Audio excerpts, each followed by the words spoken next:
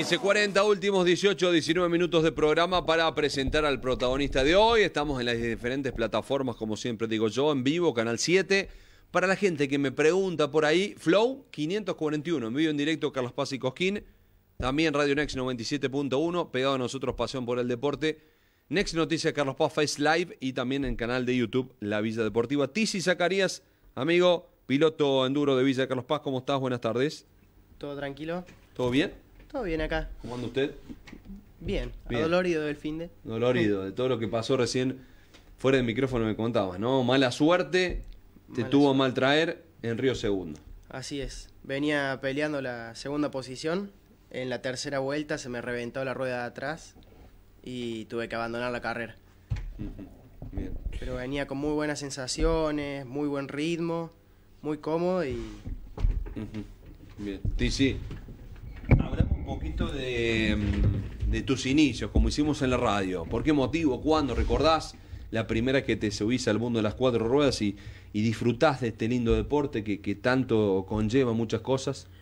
Y bueno, yo empecé en 2018. Con... Hace poquito. Sí, hace un par, par de años. Cuatro, sí. Eh, empecé en 2018 con mi viejo, que a él siempre, toda la vida, le encantaron las motos. Yo desde chiquito, desde los cuatro años que corría en BMX Race. Eh, y nada, siempre la pasión de las dos ruedas. Así que eh, ahora, en 2018, tuve la suerte que mi viejo me pudo, bueno, mi familia en general me pudo comprar una moto. Y empecé corriendo un transmontaña junto con mi papá. Zacarías, Zacarías. ¿Y cómo le fue? Y terminamos, creo que 10 de 20 que éramos en la categoría. Bien. Así que terminamos bien. Eh, igual la fuimos a, a terminar a la carrera, porque es una carrera muy complicada, muy larga. Fueron 3 horas de enduro. Eh, fue, fue linda experiencia. Eh, este año, si Dios quiere, la vamos a repetir. Así que con emociones. Bien. Imagino sueño cumplido. A ver, correr con tu papá en una carrera. Obvio, sí, sí, sí. Es hermoso. Em, bueno, después en 2019 eh, corrí un par de fechas sueltas del campeonato provincial y bueno, vi que me iba más o menos bien. Tuve las tres carreras que corrí en- sueltas, corrí con tres podios en primer puesto. Así que el 2020 lo intentamos correr, eh, correr el campeonato completo, pero bueno, por el tema de la COVID, pandemia, no pudimos. Ujú. Y en 2021 fue mi primer año corriendo todo el año completo. Y terminé en cuarto lugar en, en el campeonato en categoría promocional, Ujú. que es la tercera categoría más rápida de- del campeonato. ¿Qué te dejó como enseñanza el BMX? Y si te sirvió de algo para las motos. Sí, me dejó... Bueno, es la base de todo. Cuando era chico, me- mi viejo y todo el mundo me decía, el BMX es la base de todo deporte de dos ruedas. Y es verdad. Te da mucha confianza arriba de la moto, técnica. eh, te da todo arriba de la moto. Así que gracias al BMX voy mucho más cómodo, más fluido arriba de la moto. Y mucho, te da mu- mucha comodidad y mucha técnica, mucha seguridad. Cuando hiciste cross te fue realmente bien. En San Agustín, en algunas, en algunas categorías importantes en las nocturnas. Así es. Eh, el año pasado, bueno, fui campeón en principiantes. Y este año me anoté en promocional. Y bueno, terminé tercero en la nocturna. Y en la, la segunda fecha, que fue en el circuito grande, tuve mala suerte. Eh, y me fue mal. Así que. Nada. En la segunda fecha no, no me fue bien. ¿Lo tomás a- al tema de las motos como un estilo de vida? Como algo que, que seguramente va a ser una pasión por muchos años, como tu papá, seguir los pasos de tu papá? Sí, eh, yo creo que. bueno, queda feo decirlo, pero me encantaría morirme arriba de la moto. Eh, no, me, es algo que me apasiona las motos. Toda mi vida me parece que voy a seguir con esta pasión. Y ojalá la pueda seguir, por temas económicos y todo. Ojalá que se pueda. Acá está Tizi, el 66, Así es. con el 66. ¿Por qué este número? Tisi? Eh, es el número que me tocó en el campeonato. Ajá. Vos cuando te inscribiste te dan un número y me tocó ese número. Bien. ¿En moto?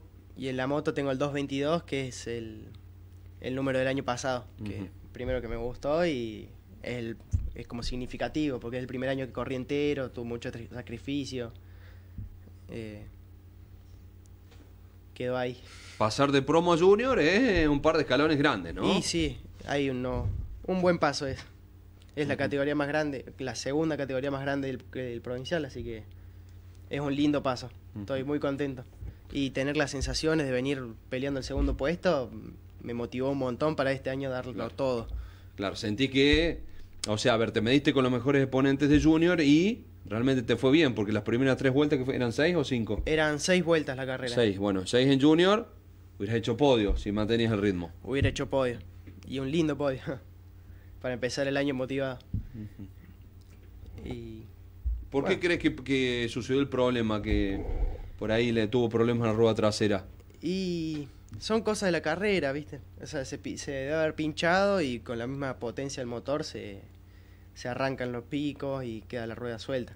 Claro. Em, la solución sería, viene una cámara que es maciza, Sí. que esa no se pincha nunca. Esa sería la solución.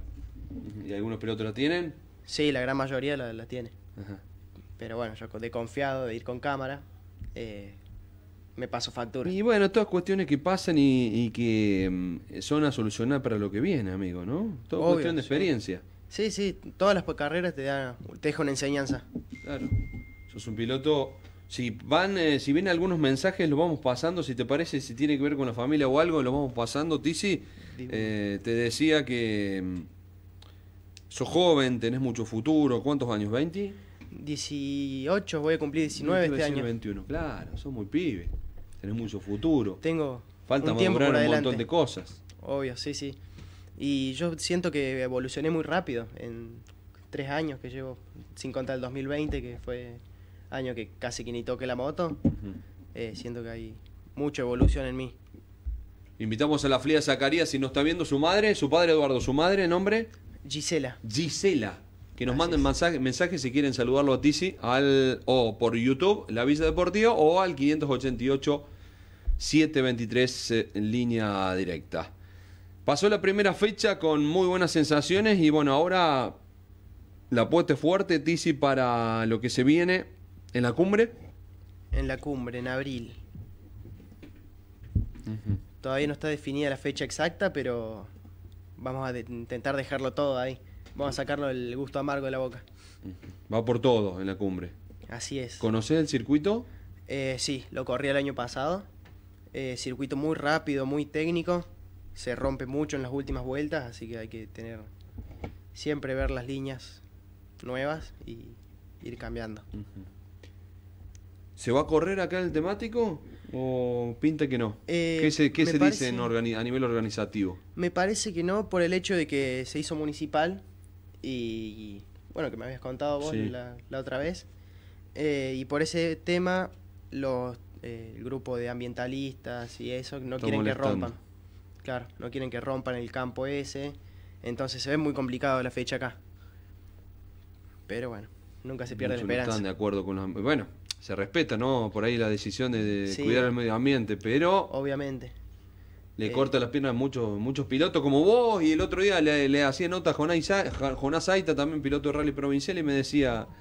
Y Manuel, capaz que no vamos a poder entrar ahí. Una lástima porque es eh, Claro. espectacular para un montón de Sí. disciplinas deportivas. Obviamente, es muy vistoso ese lugar, muy lindo. Eh, te queda acá nomás para entrenar.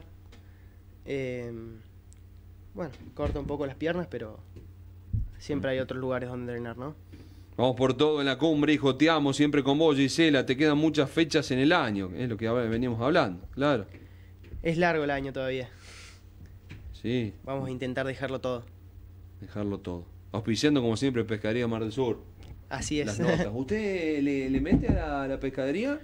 ¿O no, Eh, Tizi? no, No, no, no, no, no es tu rubro. Pero le das una mano a tu Eh. viejo, a tu familia. Obviamente, cuando hace falta, siempre voy a, a trabajar ahí o dar una mano. Em, pero normalmente no, no hace falta o por suerte. ¿Vas a endurear todo el año o por ahí si salta eh, en tu agenda de temporada alguna crosera te vas a meter? Y si salta alguna que quede por acá cerca, por ejemplo San Agustín, Río Segundo, Río Tercero, perdón, eh, capaz que vayamos, pero normal, eh, en los planes no está. Siempre puede salir una, una por ahí, pero, pero no, la idea es que solo enduro. El circuito lindo, ahí como se ve en imagen el año pasado con algo de agua, bueno, barro no porque no llovió, pero pasaron algo de agua, sí. Eh, este año muy poco agua. Ah, mira. Sí, intentaron. Pasa que el año pasado hubieron muchas motos rotas, muchas motos ahogadas. eh, entonces, por ejemplo, ahí lo que se ve en cámara, muchas motos que pasan por abajo del agua parecen submarinos. y así que este año intentaron acortar lo máximo posible los cruces de río. Si bien hubieron un par, pero cortos y bajitos. Bien. Y un par de zonas de barro, así que ¿La Eh. vuelta era larga, Tiziano? tenía 19 minutos la vuelta. Ah, varios kilómetros entonces. Así es. Y también es un circuito rápido. eh, como es de la orilla del río, es muy recto, muy, muy rápido. Em, O sea que 19, ¿qué, ¿cuánto hizo eh, Mati, eh, no, Mati Calderón no. ¿Tobías ganó? ¿Tobías Oviedo? Sí. Una hora 58. es largo. sí, Tenés sí, que estar una hora 58 a fondo arriba de una moto. Hay que sin- tener estado, sin sí. parar, es Sí, la realidad. sin parar y sin, sin descanso, porque siempre tenés una piedra que te va a sacudir, tenés una curva, un- una frenada, una aceleración. Todo te va cansando. Es, es largo. Sé que no tenés que estar al 100% físicamente, tenés que estar al 1000. Así es. Y Bueno, vos lo estás, sos pibe, tenés, te cuidás, haces algo de gimnasio. Así es, estoy intentando entrenar mucho. Ahora tengo, tengo un profesor que me va enseñando a andar. Eh, estoy entrenando una vez por semana en Altagracia. Y bueno, se nota el cambio.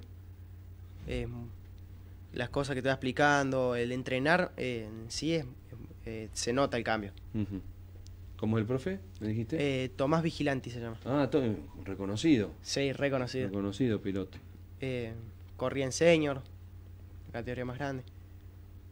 ¿Este, es, ¿Este es su abuela? Usted, a ver, nómbrela. Teresa. ¿La abuela Teresa? La abuela Tere. Ah, bien, ahí no, no pasó en el, en el comentario, pero dice, Tizi, querido, te deseo éxitos, cuídate, como siempre te digo. Siempre. ¿Tiene, ¿tiene miedo la abuela? Y le da, le da cosita. no, no le gusta mucho que esté andando arriba de la moto. Ah, bueno, pero tenés un gran equipo de seguridad. A ver, se sabe que es algo peligroso, pero Obviamente. casco, antiparra, bueno, Rodilleras, pechera. pecheras, botas, todos los elementos de protección eh, los tengo, así que... ¿Te pasó de caerte en alguna competencia? Sí, ahora en Río Segundo me metí un- una linda revolcada culpa de ir con, con la rueda atrás pinchada. Ah, bien, cuando, cuando abandonás, ahí en el momento de que Claro, te- se te sale la rueda o algo parecido. claro, se destalonó la rueda y Sí. que, quedaba girando la llanta loca en la cubierta. La cubierta quedaba quieta y la llanta giraba. Em, bueno, venía rápido, tercera, cuarta, y fui a pasar un badén. Los badenes, como un badén cortito, Sí. la levanté un poquito adelante, y cuando cae se me barre de atrás. Y me arrastré, me había arrastrado 50 metros. Ah, fuerte. Sí, sí, di un par de vueltas. Bueno, pero te veo bien. Sí, eh, por suerte con todos los elementos de seguridad que tenían, no me hice nada. Solo un peloncito a la cadera, pero nada. Podría haber sido mucho peor con si no tuviera todos los elementos que tengo. Tizi, ya cerrando un poquito, últimos tres minutos. ¿Con qué expectativas llegás? Ya lo dijimos, sí, un sueño, el hecho de, de mostrar y correr afuera, ¿por qué no? Sí, obvio. Siempre está el sueño de correr afuera. Correr el campeonato español, que hay muy buen nivel en España. Eh, o un mundial, ¿por qué no? Eh, pero ya sería a largo plazo. Eh, este año el- la expectativa, el sueño sería terminar entre los tres primeros de Junior. Sería ideal. Objetivo cumplido. Objetivo cumplir, sí, sí, sí. A la abuela le da miedo verlo en la moto, pero no falta ninguna carrera, dice. sí, obvio es. Siempre, está toda la familia en todas las carreras.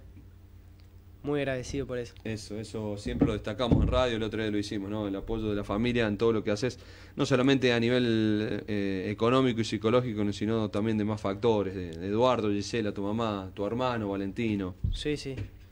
Eh, siempre están apoyando ahí de los incondicionales. ¿Recomendás eh, el deporte como vida sana? No solamente el motociclismo, sino todas las. Sí, cualquier tipo de deporte te va a quitar de, de muchos malos hábitos, te va a mover la sangre. Me encanta el deporte. Yo toda la vida hice. Todos los deportes pasé. Pasé por básquet, fútbol, volei, eh, handball hice un, un tiempo. Eh, ¿Y hoy por qué te quedas con, con el motociclismo? ¿Qué te seduce de las dos ruedas que no tienen por ahí los otros deportes? Y la velocidad me parece que es lo que más me... La adrenalina. Sí, sí, sí. De acelerar. La adrenalina de estar ahí, que no sabes en cuál momento te va a sacudir. Acelerar conscientemente, ¿no? Porque si no acelero a fondo en la primera en la primera curva te das vuelta. Obviamente, pasa de largo en la primera curva. Eh, claro, tenés que eso es lo que tiene mucho el enduro, porque ahí con el cansancio no, no, no llegas a analizar bien las cosas. Entonces tenés que ir al 50%, ponerle toda la carrera, y pero terminarla, que es lo más importante. Si surge la posibilidad de hacer alguna cerca del argentino.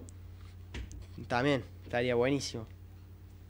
sí, si hay alguna cerca, supongo que la vamos a intentar hacer. Vamos a hacer todo por hacerla. Para medirnos más que nada. Para ver en qué nivel estamos. Bien. Amigos, agradecerte por esta linda nota a la Villa Deportiva. Me imagino tenés saludos porque te está viendo y escuchando mucha gente en las diferentes redes sociales y también en el vivo de la Villa Deportiva. Cámara 3, lo que quieras decir, cerrando la entrevista esta, amigo. Eh, bueno, como siempre, saludos a la familia que siempre están viendo, están apoyando, siempre, siempre están ahí. Eh, saludos a mi novia que también está viendo y amigos, porque amigos también, siempre están apoyando ahí. ¿Quién es el grupito de amigos? El grupito de siempre. nombralo, eh, nombralo algunos, los de Fierro. ¿Cuáles, ¿Quiénes son? ¿Cuáles son? El Lucas Brasilero, Nacho Lucas Brasilero. El Brasilero. Ahí está, el Brasileiro. ¿Quién más?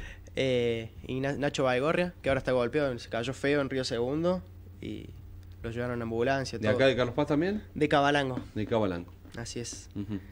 eh, a Romero, Marino, Sanabria, los amigos de siempre. Toda la banda. La banda. Que se juntan a comer algo de vez en cuando. Más vale. Y hoy o mañana capaz que nos juntemos. Hermanos, gracias y bueno, éxitos para lo que viene. Seguramente vamos a estar con todo el seguimiento del deporte de Carlos Paz. Muchas gracias por la invitación. Un gustazo como siempre.